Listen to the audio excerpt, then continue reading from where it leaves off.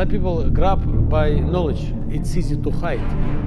I start to see it and a knife already in my hand.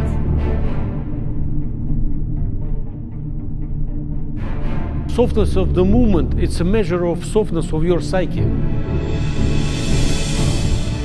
Should be not tense, but solid.